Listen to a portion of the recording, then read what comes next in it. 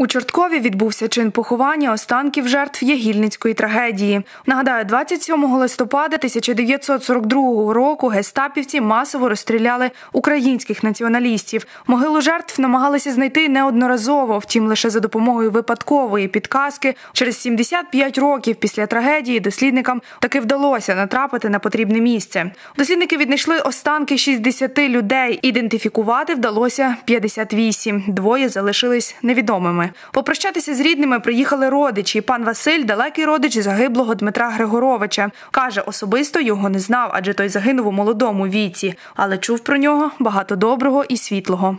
Останній день, коли Вуйко Метро проводив урок в школі і прийшли його забирати. А він сказав, діти, сидіть тихо, не переживайте, я повернуся. Він ж знав, що він вже не повернеться.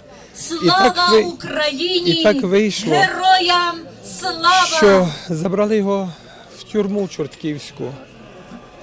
Родичі не знали, хотіли дійти до нього, ну не тому знали, де він, куди проїхати, але не пускали ніко- нікого. І пройшов час, ми вчули, що нема вуйка метра. Отак і закінчилось життя молодого чоловіка в 42-му році. Серед ідентифікованих осіб священник Павло Ветвицький. У свій час він переховував євреїв та переправляв їх за кордон. Був членом ОУН, за що поплатився життям. До Чорткова приїхала і його родина. Племінниця отця Павла каже, про смерть дядька дізналася вже у дорослому віці. Ми вже покоління, е, наступне покоління родини Витвицьких. І батьки, звичайно, нам в дитинстві не розказували ті жахіття, які вони переживали. І вони нас оберігали. Але зараз, так як відкриті е, архіви, е, за, за архіви, так що можна, є доступ. Е, Дуже багато написано про них книг, дуже багато е, статей. І навіть з розповідів очевидців е, можна зрозуміти, е, скільки мух і горя випало на долю родини Ветвицьких. Ну, Ми сьогодні приїхали провести в останню путь нашого стрийка е, отця Павла Ветвицького разом із розстріляними тут людьми.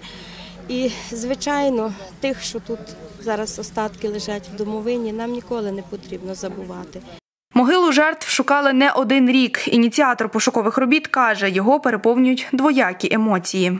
Для мене сьогодні і сумний, і радісний день. Що по тих невинно об'єднаних, а це справді герої, лиси більше ходити не будуть. На них чи поміж їх останками лиси не будуть ночувати, зимувати, а вони належно будуть перепоховані по-християнськи. Заупокійну літургію провели у Чортківському соборі Петра і Павла. Опісля духовенству рідні загиблих та мешканці міста, несучи фотографії героїв і співаючи патріотичних пісень, пішою ходою вирушили на місцеве кладовище. Там провели чин погребіння та скорботне віче.